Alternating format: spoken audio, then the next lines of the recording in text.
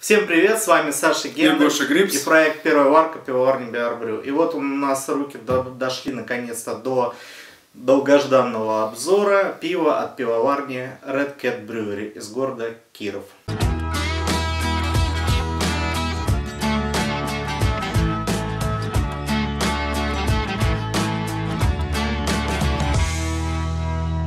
В одном из предыдущих обзоров вы, наверное, видели распаковку посылки.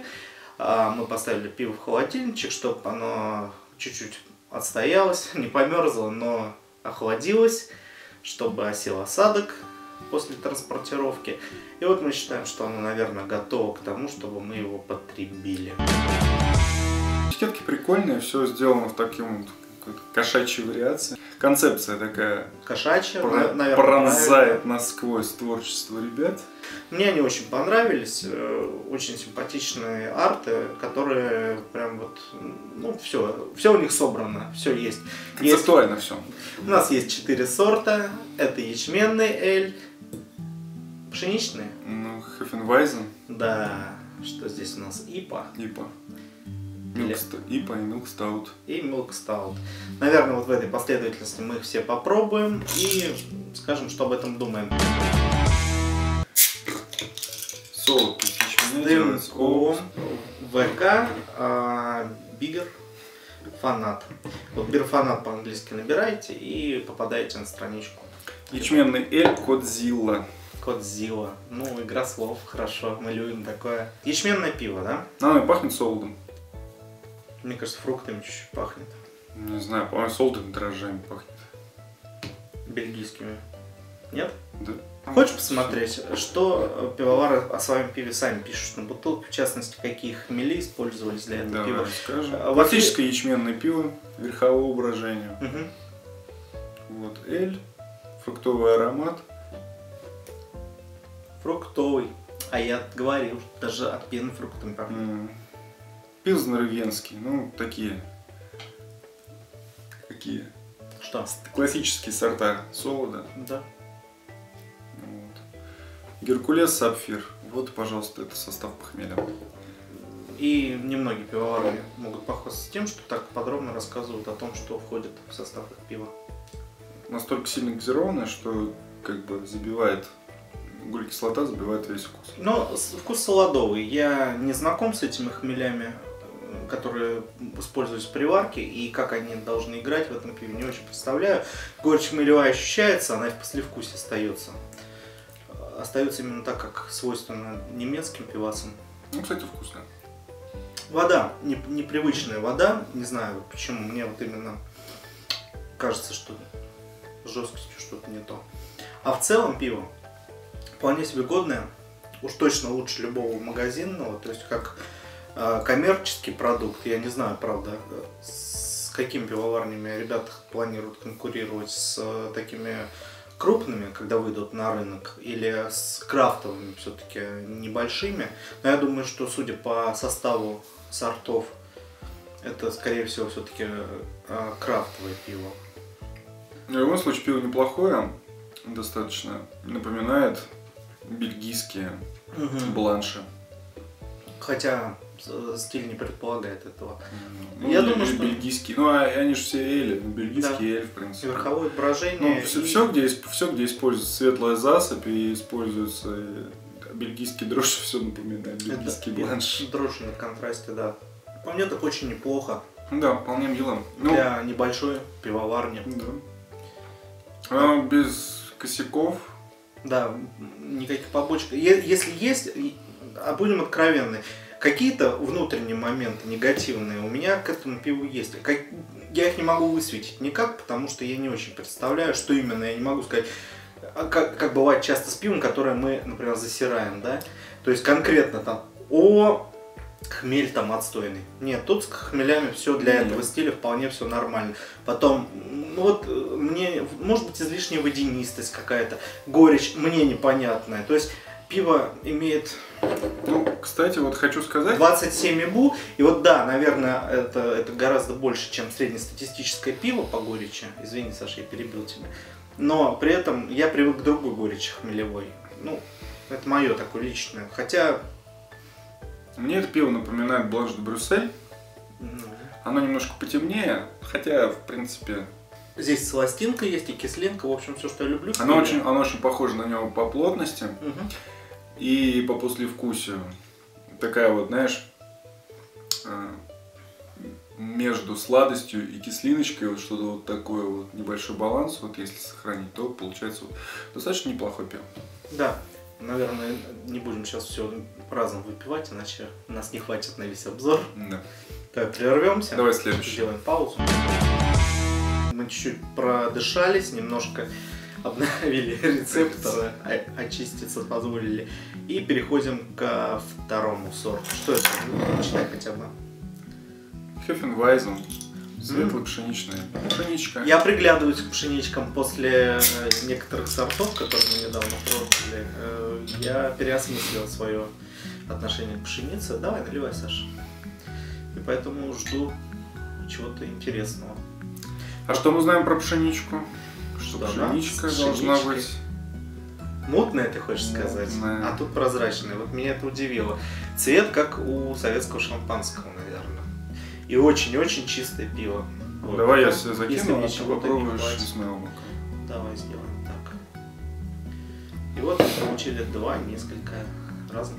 О, прям химия происходит в бокале. Я пока запах... Ну, он такой слабый запах. Очень сильный запах. Ну как сильный? А как? А почему быть не быть? Ну, у меня... Банан есть. Мутность есть, в моем случае у меня. Так что тут в стиле все. Единственное, что газация бешеная, ребят, надо что-то с этим делать. А может не надо делать ничего, потому что газация бешеная, ну знаешь, Но как, в у- первом- как у некоторых пивоваров из бутылки не хлещет, Саша. Ну, ну нет, все, все на месте. Сушеный банан на месте. Как бы заявлено все. А что заявлено? Прочитай. Светло-пшеничный в немецком стиле, фруктовая фигня, фруктовые цитрусовые нотки, геркулес, перле, сапфир. Сапфир прям такой у них везде прям хороший, наверное. Ячменный и пшеничка один к одному. Вот так вот. Запах мне очень нравится, запах хороший. Ну, Да. нет, это, во-первых, попадание в стиль стопроцентно. Это пшеница. Первое, что надо заметить. Второй момент. э, горечь. Опять же, я не хочу мне себя там каким-то специалистом или еще что-то. Мне не, я, я, наверное, понял. Мне просто на горечь европейских хмелей не нравится. Вот есть такое просто. Мне не нравится тот вкус, послевкусие, хмелевая именно часть его. Что касается солодой, вообще ба- базара нет. Отлично все. Ну, а ты своего сначала попробуй. Я своего уже отведал. Понял, что к чему? А теперь на. Давай, меняемся. Солодовость или пшеница, там, не знаю, э, более яркого. Почему-то у тебя, может быть, за счет подсадка или еще чего-то выделилось. И хмель не так сильно. Ну смотри, на, тут вот у нас ИБУ 27 в первом было, Да, но здесь горечи вообще не чувствуется, вообще там не чувствуется. Не- ну там не сла- сладости и кислиночка. Здесь ИБУ 16, что меньше ее, Но, А горечь но выше, горечь да? я чувствую прям здесь, ну, то ли, то ли дефектом, то ли... Нет, а, ну вот э, абсолютно. Я вот ровно здесь больше ее чувствовал, здесь меньше. А, дело в том, что ты сейчас оцениваешь в общем горечь напитка, правильно? А я говорю о хмелевой горечи. Ну, Я- кстати, она может и есть хмелевая, я, Я, не знаю. Саша, минусую. Здесь, здесь, по-моему, есть какие-то добавки.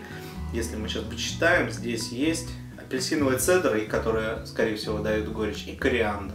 Как ты считаешь, они тоже дают горечь напитку? Я их оцениваю как специи, и я горечь, которая присутствует от них, она да есть, я ее минусую. Кориандр чуешь?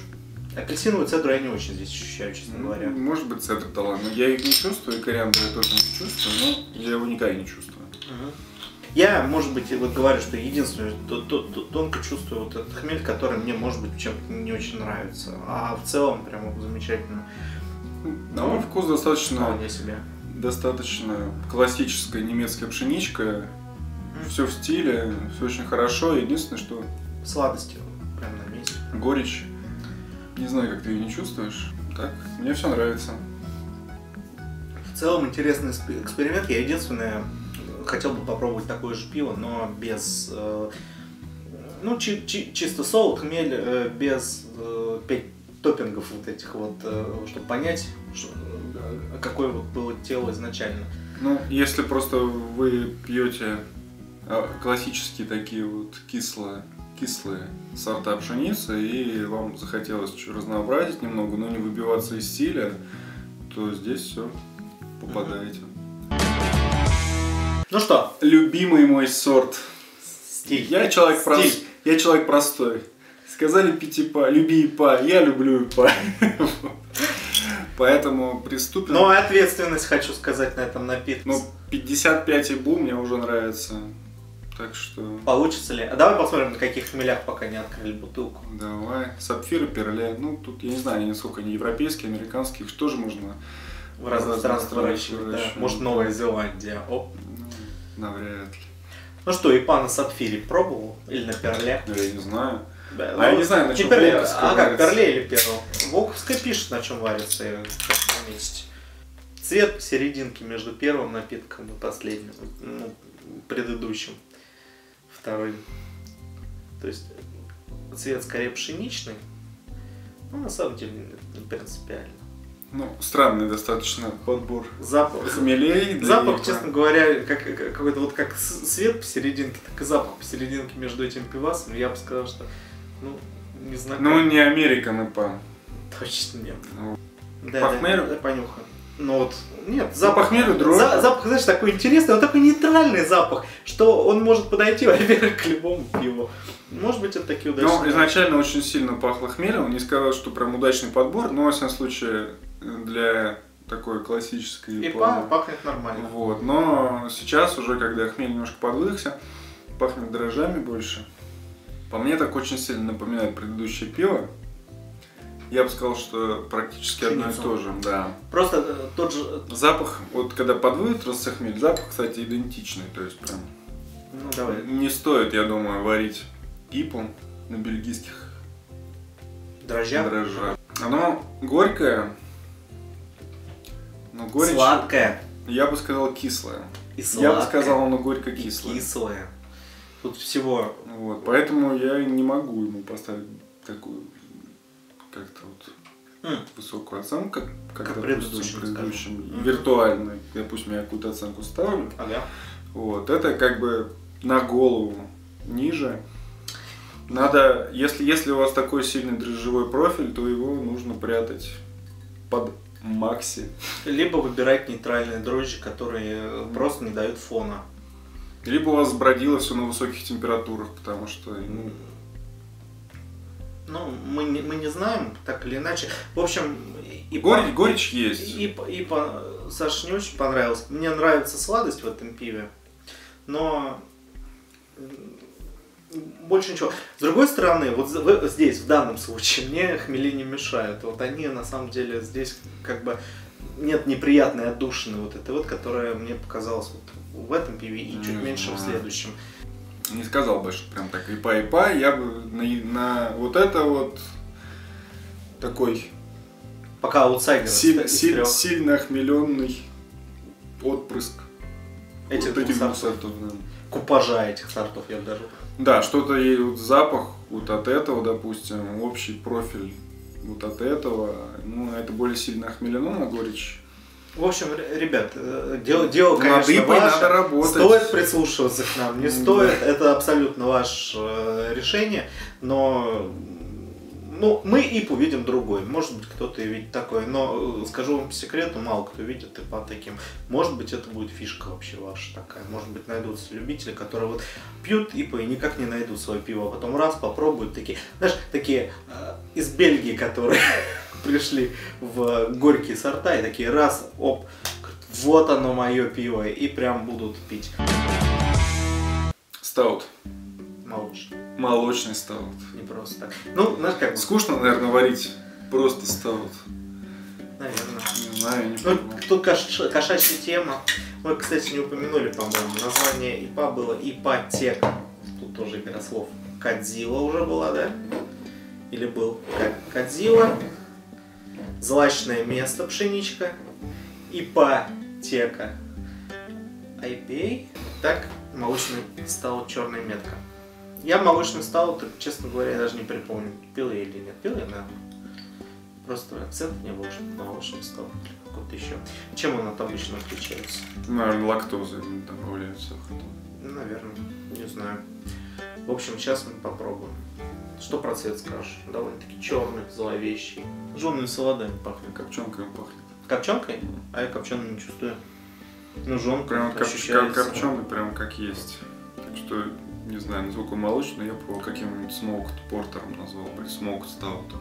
Немецкий сорт Геркулес. Ну опять дрожжи вылезают. Но цвет, но цвет, смотри, если сфотографировать, мне кажется, прям Гиннес будет, да? Ну, не знаю. Гиннес даже посветлее, это прям такой черный, может быть, краситель. Упаси бог. 16 ОГ, но я бы, не знаю, я бы поставил бы в один ряд с остальными совсем. Не очень похож на то, что он более Отчетливые шоколадные нотки, Гош, как тебе? Ну, может, где-то в отдалении. Не в этом доме. Ну, я их не ощущаю ни в запахе, ни во вкусе. А что еще пишут? Все? Что типа, по сладам душистый черный хлеб есть? Да. Черный хлеб есть прям душистый. Отчетливые шоколадные нотки. Ну, ты опять возвращаешься. Там я же сказал, что вот на, насчет хлеба, да. Горчинка оттеняет солодовые нотки во вкусе, ничего он не оттеняет. Кислый пипец просто. Может, просто доехал плохо. Но остальные Мгм. доехали нормально, а Мгм. это плохо. Не факт. В общем, как-то у нас не очень правильно, наверное, обзор получается, потому что началось за здравие, а заканчивается за упокой. Ну, не виноваты, слепой жребий выставил так. Да. Сорта. Между тем, два нам сорта понравилось, два, ну, в меньшей степени. Что можно сказать? И я не знаю, как, может быть, пивовары задумали пиво таким именно вот это вот, но мне оно прям... Не, не знаю, какой из них больше не заходит. А вот эти два пива очень неплохие. Годное пиво. Здесь э, неуместная кислина есть какая-то. Ну, а- она, она бывает, она есть в э, сухих стаутах. Она есть, ну, в, в том же Билл Хевене она есть. Не в такой, правда, пропорции. Может, там с салатами что-то попутали, может, э, какие-то... Может, кислоты налили. Может, кислого сол- солода просто. Может, курский солод таков.